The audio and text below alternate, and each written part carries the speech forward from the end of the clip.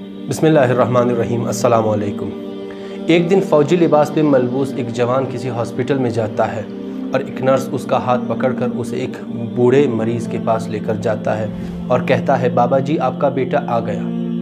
یہ بوڑھا مریض شدید درد اور علم کے عالم میں مشکل سے اپنی آنکھیں کھولتا ہے اور اس فوجی لباس میں ملبوس جوان کی جانب اپنا ہاتھ آگے بڑھاتا ہے۔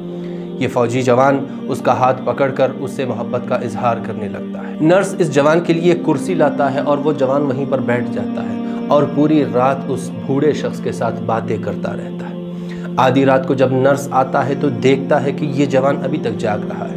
نرس اسے آرام کرنے کا کہتا ہے لیکن وہ انکار کر دیتا ہے۔ یہ جوان نرسوں کے آنے جانے، اپنی تکاوٹ دوسرے مریضوں کی شور شرابے کی جانب توجہ دیے بغیر پوری رات اس بوڑھے شخص کا ہاتھ تام کر اسے بات کرتا ہے۔ بوڑھا شخص اپنے جوان بیٹے کا ہاتھ تھامے اپنی موت کا انتظار کرتا ہے۔ صبح کے وقت یہ بوڑھا شخص مر جاتا ہے۔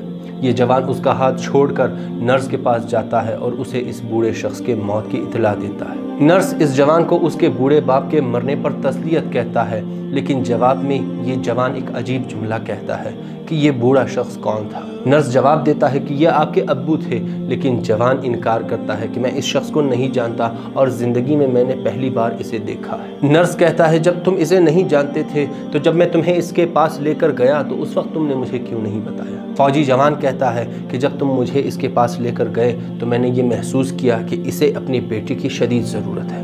اور یہ اس قدر بیمار ہے کہ اسے اپنے بیٹے اور مجھ میں فرق نظر نہیں آ رہا۔ لہٰذا میں نے اس کے پاس رہنا ہی مناسب سمجھا اور یہ مناسب نہ سمجھا کہ اس وقت میں انکار کر دوں۔ جوان کہتا ہے، بہرحال مجھے فلاں شخص سے ملنا ہے اور اسے اس کے بیٹے کی شہادت کی خبر سنانی ہے۔